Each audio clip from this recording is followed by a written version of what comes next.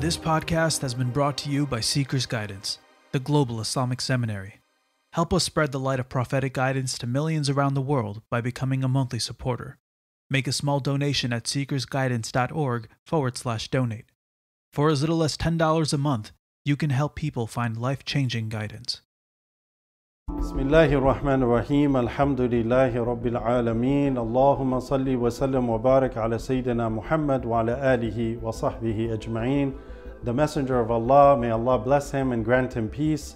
In one hadith he told the companions, Shall I guide you to an action that is the best of all actions, the purest in the sight of your Lord, And one that raises your rank and is better than you spending in the way of Allah through gold and silver, and better that you should that you should meet your enemies in battle, that they strike you and you strike them. They said, Bala ya Rasulullah, tell us what is this great action. He said, dhikr of Allah, remembrance of Allah subhanahu wa ta'ala.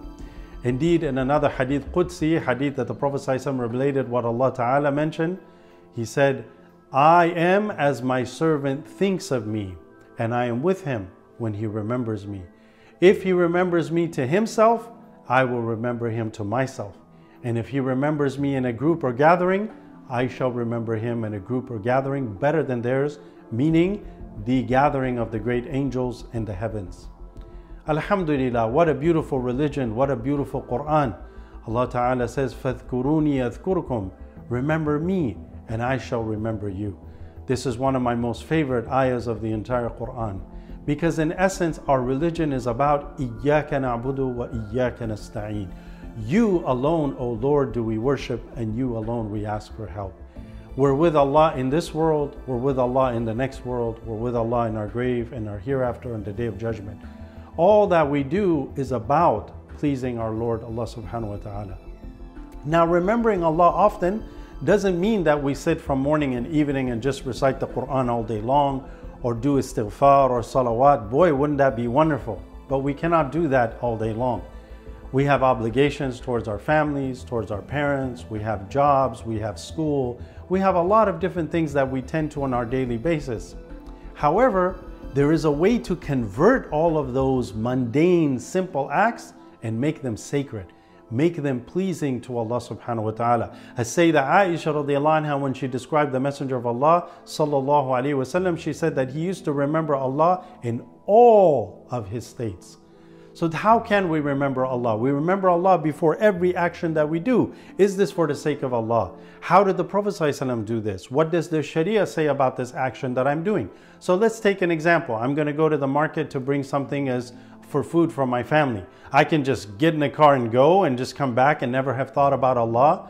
Or as I leave my home, I say, Bismillah tawakkaltu ala Allah. Oh Allah, I intend by going to the market to bring halal provisions to feed my family, as this is an obligation upon me. Therefore, I seek your pleasure and your acceptance and your reward. And then you go fi sabilillah while making sure you bring everything that is halal and good. This becomes rewarded until you come back. When we, even when we go to sleep at night, that we intend to rest our bodies so that we can wake up and worship Allah. Ulama have written whole volumes of books. Ibn al-Hajj, one of the great scholars, he has a four-volume book called Madkhal that is just on the topic of how we can make our intention in every single thing that we do for the sake of Allah. So even when we go to work, we intend the pleasure of Allah that you're going to go seek halal provision for yourself and your family and to support yourself. And this is rewarded and this is a sacred act. There is nothing that doesn't become sacred, including going for a walk, eating, reclining, sleeping, waking up, you know, uh, taking a shower for the sake of Allah to be clean, to be healthy, and to uh, be in a wonderful state. So all of this becomes sacred, all of this becomes rewarded.